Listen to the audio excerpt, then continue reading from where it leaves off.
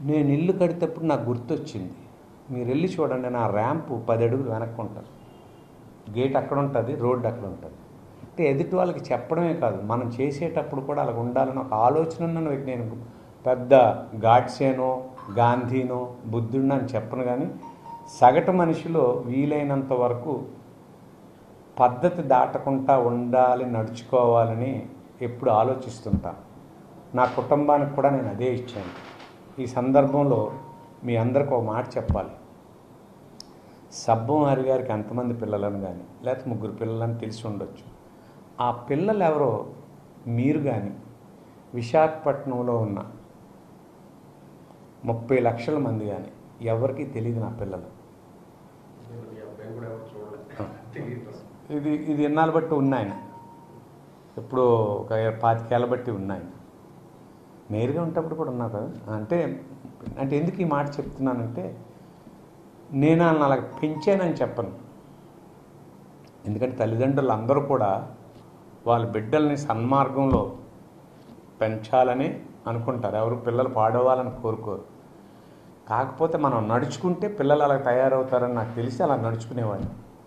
ఒక అదృష్టం నాకు అది అది దేవుడిని వాళ్ళని పెట్టను కానీ నేచర్ నాకు అది పక్కన పెడతాను. ఇందాక నేను చెప్పింది మళ్ళీ రిపీట్ చేసి చెప్తున్నాను. ఆ మాట వాడు అనే మాట ఆ రాస్కెల్ అనే మాట నేను మామూలు మనిషి నాకు కూడా ఉక్రోషం వచ్చింది. ఇంత ఇలాగ కట్టుదిట్టంగా నన్ను నేను క్రమశిక్షణలో పెట్టుకొని ఇల్లు దాటను సినిమాకి వెళ్ళను క్లబ్బుకు వెళ్ళను మ్యారేజీలకు వెళ్ళను గుడికి వెళ్ళను ఎవరింటికి వెళ్ళను. అలాంటిది రెండు ఒక్క అవినీతి అభియోగం ఇప్పటి వరకు లేదు. ఇది ఒక చెత్త విషయం పదే పదే పదే ఇది మాట్లాడుతుంటూ నాకు బాధ కలిగింది. రెండోది ఐదు బై ఎనిమిది టాయిలెట్ కొట్టడానికి అంత అంత రెండు వందల మందితో యాభై మంది పోలీసులతో వచ్చి చేయాల్సిన విషయం నాకు నచ్చల. ఆ కోపంలో ఎవడరా మీరైనా కాగితాలు చూపించండి నేనైనా కాగితాలు చూపిస్తాను అంటే మాకేం లేవు సార్ పైనుండి ఆర్డర్స్ అంటే. టక్మని కోపంతో ఆ మాట అన్నాను ఒక్కడనే ఉండి. అందుకని వాళ్ళని ఎందుకంటే అంటున్నాను ఇది ఎవరి గురించి జడ్స్ కాదని ఇందాకే చెప్పేశాను మళ్ళీ రిపీట్ అవ్వకూడదు. ఈ మాట అన్నాడు అందుకే మళ్ళీ మేము మమ్మల్ని చూసి భయపడి వెనక్కి తీసుకున్నాడు నో.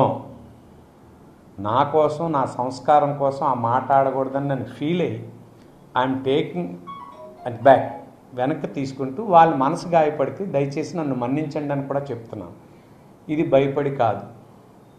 నా యుద్ధం ఇలాగే ఉంటుంది. యుద్ధం కాదు. ఇది యుద్ధం అనే పాట కూడా తప్పు. ధర్మం కోసం ప్రజల పక్షాన రాజకీయాల్లో ఉన్నాం కాబట్టి